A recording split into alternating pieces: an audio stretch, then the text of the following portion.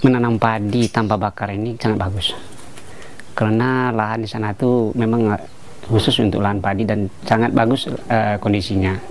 Dan kami pada dahulunya telah mencoba juga lahan-lahan yang dikerjakan tersebut dan pernah dicoba ditanam tanpa bakar tersebut.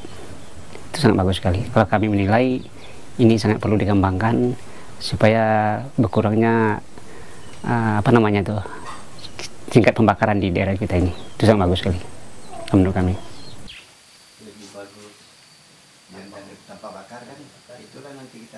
Apa ladang tanpa dibakar ini ya siap ditebas kami diratakan. Masalah rumputnya atau apanya di- sudah diratakan baru kami langsung ditanam padi kalau di sini istilah kami di sini diubah kan ya.